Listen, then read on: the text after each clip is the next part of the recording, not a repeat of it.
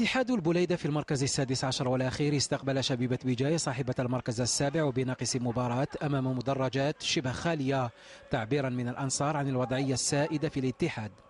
المباراة كانت في بدايتها للشبيبة عرضية شوشي تجد غانم الذي لم يسدد بالطريقة المناسبة. الشبيبة ضغطت على الجهة اليسرى فتحت جلول تجد رأسية مادور التي تصدى لها بسهولة الحارس واضح.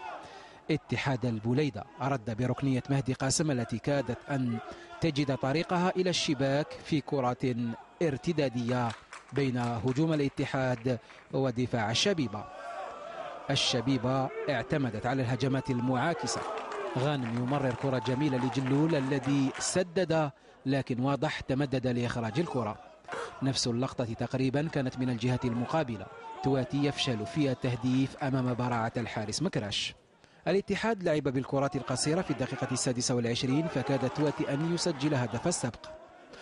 وعند نهاية الشوط الأول هواري لعب بالنار لكن حرباش أكثر من المراوغة فضاعت الفرصة. نفس السيناريو عرفه الشوط الثاني. تسديدة بايتاش لم تكن بالخطورة المرجوة. معزيز غير في الطر... معزيز غير في طريقة الكرة التي استقبلها خلاف مررها لنياطي الذي سجلها للشبيبة. عند الدقيقة الثامنة والخمسين وفرحة عارمة لدى اللاعبين.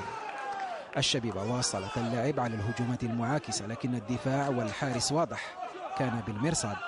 واضح أكد حضوره في المباراة مرة أخرى عندما نجح في التصدي لكرة خلاف نبيل وعكس مجريات اللقاء جيزاير يجد الحل الفردي يراوغ ويسجل ويعدل النتيجة لصالح اتحاد البليدة الاتحاد الذي عاد من بعيد في المباراة وكاد أن يضيف أهدافا أخرى عن طريق مهدي قاسم أو حتى من جانب الهداف جيزاير لتكون نهاية المباراة مشوقة من طرف شبيبة بجاية التي رمت بثقلها للهجوم دون جديد يذكر لتنتهي المباراة بالتعادل بهدف لمثله.